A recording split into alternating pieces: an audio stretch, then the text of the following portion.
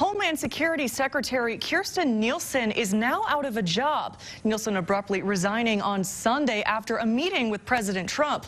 Secretary Nielsen was a major player in implementing the controversial zero tolerance policy, which led to family separation at the border. ABC's Mona Kosar Abdi is in Washington with the latest.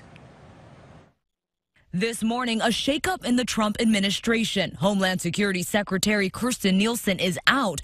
President Trump announcing the news on Twitter. Two days after Nielsen joined him on a visit to the border, he then went on to tweet, quote, more apprehensions captures at the southern border than in many years. Border Patrol is amazing. Country is full. A source tells ABC News Nielsen met with the president Sunday to discuss a path forward and ended up turning in her resignation.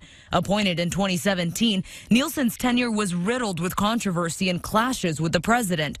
Most notably, Nielsen was highly criticized for carrying out the administration's zero tolerance policy, which separated thousands of migrant children from their families. How many children 17 years old or younger have died in DHS, ICE, or CBP custody since you took office? Uh, I will get back to you on that figure. The move comes as President Trump intensifies his focus on the U.S. Mexico border. The system is full.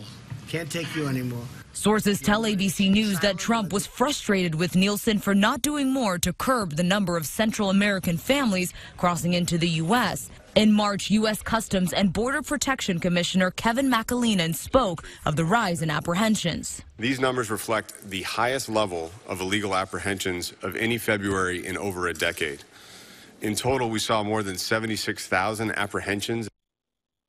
And just yesterday, President Trump tapped McAleenan, who you just heard from there, as the acting head of Homeland Security. Mona Kosar Abdi, ABC News, Washington.